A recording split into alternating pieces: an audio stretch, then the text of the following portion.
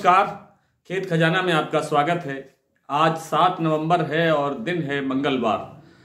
आज सरसों के बाज़ार में क्या गतिविधि रही है और गुजरात के गुजरात राज्य के अंदर सरसों की बिजाई बड़े स्तर पर घटती हुई दिखाई दी है। इस पर विस्तार से बात करेंगे, लेकिन उससे पहले अगर आप इस चैनल पर नए हैं तो इसे सब्सक्राइब कर लीजिए। और अगर इसको आप लाइक और शेयर भी कर सकते हैं। तो सरसों बाज़ार की बात शुरू करें और सरसों में सबसे पहले आपको ये जानकारी देना ज़रूरी है कि आज सलोनी प्लांट ने कल तक जो बाज़ार घटाया जा रहा था, उस पर लगाम लगाई है, उस पर लगाम आई है और उस पर आज भाव पचास रुपये प्लस हुआ है। आज शमशाबाद, दिगनेर और अलवर के साथ साथ आगरा का भाव भी तिरसठ सौ पचास रुपये तक वापिस आ गया है। जबकि जो कोटा मंडी का, सलोनी का जो भाव है वो तिरसठ सौ रुपये बोला गया है। कल ये भाव बासठ सौ पचहत्तर रुपये तक नीचे चला गया था। बासठ सौ पचास रुपये तक क्षमा करें। तो कुल मिलाकर के बाज़ार आज थोड़ा सा हल्का सा सुधार दिखा रहा है, लेकिन ये सिर्फ़ तेज़ी प्लांटों के अंदर दिखाई दी है। भरतपुर मंडी में ज़रूर आज बाज़ार चालीस रुपये कल से तेज खुला है, लेकिन दूसरी मंडियों के अंदर कभी, अभी कोई सुधार दिखाई नहीं दिया।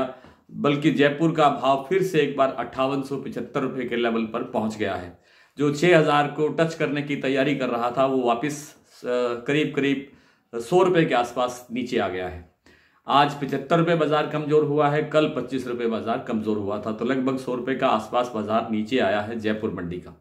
भरतपुर मंडी फिर से पचपन सौ तीस रुपये के आसपास आज खुला है बाज़ार, कल से चौबीस पच्चीस रुपये बाज़ार तेज खुला है। लेकिन जो दूसरी मंडियाँ हैं, चाहे वो टोंक निवई लाइन की बात है, चाहे वो चरखी दादरी दिल्ली लाइन की बात है, वहाँ बाज़ार स्टेबल हैं, उनमें कोई परिवर्तन नहीं है। और आवकें पिछले दो तीन दिन से फिर एक बार सवा पाँच लाख बोरी के आसपास पहुँच गई है। उसके कई कारण हो सकते हैं।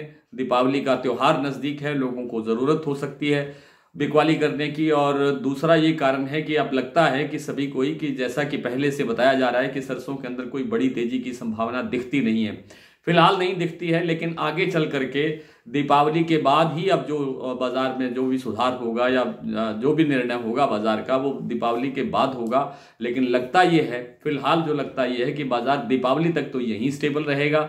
25-50 ऊपर नीचे होकर के बाज़ार यहीं खड़ा रहेगा। और उस दीपावली के बाद फिर जब चारों तरफ़ से बिजाई की रिपोर्ट आनी शुरू होगी उसके बाद बाज़ार में हल्का फुल्का सुधार आने की संभावना बन सकती है। साथ में इंटरनेशनल मार्केट से भी थोड़ा सपोर्ट मिलने की संभावना है। पाम तेल के अंदर थोड़ा सुधार होने की संभावना है। बहुत बड़ी तेज़ी के आसार नहीं है। इसलिए सरसों को भी कोई ज़्यादा सहारा नहीं मिलेगा, थोड़ा बहुत ही सहारा मिलेगा। लेकिन एक जो गुजरात के एक जो एक जो रिपोर्ट आई है बिजाई की, वो बहुत हैरान करने वाली है, बहुत चिंतित करने वाली खबर है। और वो ये है कि गुजरात के अंदर पिछले साल, इस समय तक, यानी आज, अगर सात अक्टूबर, सात नवंबर की बात करें तो सात नवंबर तक का आंकड़ा जो आया है, वो ये है कि एक लाख अट्ठारह हज़ार हेक्टेयर से अधिक में बिजाई हुई थी पिछले साल, इस समय तक। और इस बार जो अब तक जो बिजाई हुई है, वो हुई है मात्र तिरपन लाख हेक्टेयर से थोड़ी सी कम है। उससे भी थोड़ी कम है। यानी आधी से ज़्यादा कम गिरावट, कम आधी से ज़्यादा गिरावट आई है। पिछले साल से डबल जो है गिरावट बढ़ी है। तो ये आप कह सकते हैं कि इतनी बड़ी गिरावट सरसों में, अब ये इसको खींच करके या बढ़ा करके आगे नवंबर तक कितना ले जाएँगे, ये संभव नहीं है। और इसी तरह से जो राजस्थान जो सबसे बड़ा सरसों का उत्पादक प्रदेश है, जहाँ 50 परसेंट योगदान है पूरे देश में सरसों का।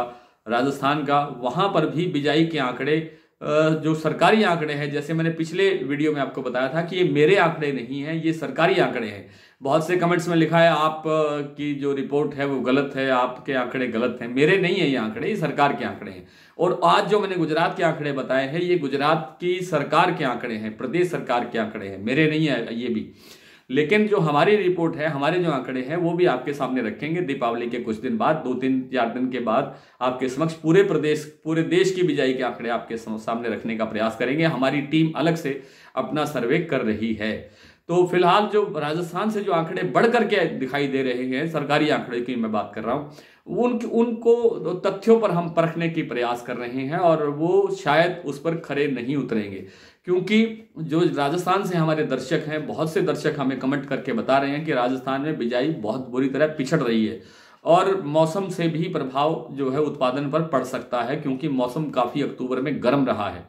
इन सब कारणों से बाज़ार में कुछ सुधार की संभावना बनेगी, लेकिन दीपावली के बाद। आइए कुछ मंडियों के भाव देख लेते हैं। जैसा मैंने आपको सलोनी प्लांट के बारे में भाव बता दिए, ऐसे ही दूसरी मंडियों पर आज कुछ भाव का नज़र डालते हैं। आज भरतपुर मंडी का भाव खुला है त्रे पचपन सौ तीस रुपए। कल से चौबीस रुपये प्लस हुआ है बाज़ार। जयपुर आज अट्ठावन सौ पच्चीस रुपये खुला है। गंगापुर पचपन सौ बीस रुपये चरखी दादरी चौवन सौ पचास, अलवर पचपन सौ, सिवानी मंडी चौवन सौ पचास, खेरली मंडी छप्पन सौ, नडबई पचपन सौ अट्ठाईस, खैरथल मंडी चौवन सौ पचास, कोटा छप्पन सौ, हिंडौन छप्पन सौ पच्चीस, आदमपुर मंडी चौवन सौ इक्यावन, गोलूवाला चौवन सौ छब्बीस, बीपी आगरा इकसठ सौ, शारदा छः हज़ार पचास गोयल कोटा अट्ठावन सौ मुरैना तिरपन सौ पचास, ग्वालियर चौवन सौ, दिल्ली पचपन सौ।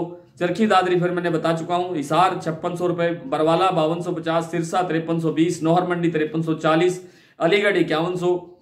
बारह मंडी पचपन सौ पचास सुमेरपुर चौवन सौ पचास, मेड़ता मंडी इक्यावन सौ पचास, निवई मंडी पचपन सौ पचास, टोंक मंडी पचपन सौ तीस और रेवाड़ी मंडी के अंदर आज भाव रहा है तिरपन सौ रुपए।